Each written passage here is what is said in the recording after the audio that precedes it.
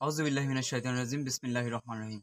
সম্মানিত ভিউয়ার্স, আপনারা নিশ্চয় অবগত আছেন, আজকে চোদ্দই আগস্ট দুই হাজার তেইশ, আজকে বাংলাদেশের একটা নক্ষত্রের বিদায় হয়েছে, যিনি নিজের জীবনকে উৎসর্গ করে দিয়েছেন আল কোরআনের জন্য, ইসলামের জন্য, যিনি দীর্ঘ পঞ্চাশটির বেশি বছর ইসলামের খেদমত করে গেছেন, সারা বিশ্বের বিশ্বের পঞ্চাশটির বেশি দেশে যা, যিনি কোরআনের তফসির করে গেছেন সে বিশ্ববরণ্য মুফাসির কোরআন যার সৌভাগ্য হয়েছিল পবিত্র কাবাগরে ঢুকার, ভিতরে ঢুকার সুযোগ হয়েছিল। সে বিশ্ববর্ণ মুফাসিরে কোরআন আল্লাহ মাদের ওয়ারিসান সাইদি আজকে চোদ্দ আগস্ট রাত আটটা চল্লিশ মিনিটে এই দুনিয়ার জীবন শেষ করে আকিরাতে পাড়ি জমেছেন। ইন্না লিল্লাহি ওয়া ইন্না ইলাইহি রাজিউন। এই মহা বিশ্ববর- বিশ্ববর্ণ মুফাসিরে কোরআন আল্লাহ মাদের ওয়ারিসান সাইদির মৃত্যুতে সারা বিশ্বের মুসলিমের অন্তরে রক্তকরণ হচ্ছে। যিনি আজকে দীর্ঘ তেরোটি বছর জালিমের কারাগারে বন্দি।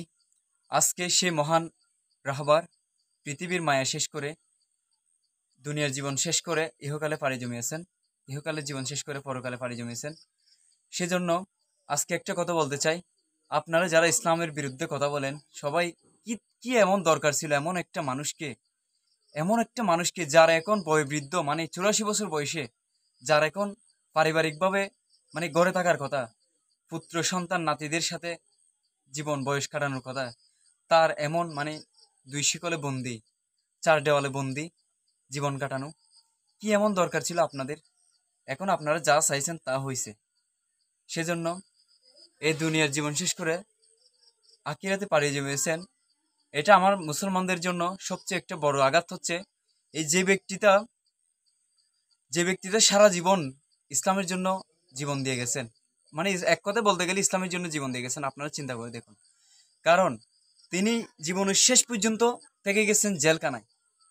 অতীতে অনেক নবী রাসুল ইসলামের জন্য অনেকে হাজার হাজার, আমাদের প্রিয় রাসুল ইসলাম সহ জেল কেটেছেন। তো তিনিও তাদের কাটায় পড়তেছে অলরেডি সেজন্য আপনারা যারা আলেমের বিরুদ্ধে কথা বলেন, সবাই আপনাদের কাছে একটা হাত জোর করে কথা বলতেছি। আল্লাহ রসুলের ওয়ারিস হচ্ছে আলেমুলামা। যারা আল- আল্লাহ আলেমুলামা যদি না থাকলে থাকতো, আমরা নবী ইসলামের বাণীও জানতাম না কোরআনে বুঝতাম না হাদিসে বুঝতাম না, নামাজও বুঝতাম না কিছু জানতাম না। সেই জন্য সবাইকে বলব, যারা আলিমুলামা বেঁচে আছে, সবার সাথে ভালো ব্যবহার করুন। আর অন্তত একটা কথা বলবেন সবাই, সবাইকে একটা কথা বলতেছি। আমাদের প্রিয় রাহাবার দুনিয়া থেকে বিদায় নিছেন। আমাদের অন্তরে রক্তকরণ হচ্ছে। সবাইকে বলতেছি মানে সবাই নামাজ পড়ে দোয়া করবেন। আল্লাহ তালা যাতে তিনি যেহেতু মানুষ, তিনি অনেক ভুল করেছে লাইফে আল্লাহ তালা যাতে তার ভুলগুলো ক্ষমা করে আল্লাহ তালা তার ইসলামিক খেদমতগুলোকে কবুল করে তাকে আল্লাহ তালা যাতে জান্নাতের সর্বোচ্চ স্থান জান্নাতের ফেরদেশের মেহমান বানিয়ে দেয় সেজন্য সবাই দোয়া করবেন। আর সারা বাংলাদেশে আহ, গায়েবানা জানাজা হবে। যে যেখানে পারেন সেখান থেকে উপস্থিত হওয়ার জন্য চেষ্টা করবেন। ধন্যবাদ সবাইকে। সবাই ভালো থাকবেন। আসসালামু আলাইকুম রহমতুল্লাহ।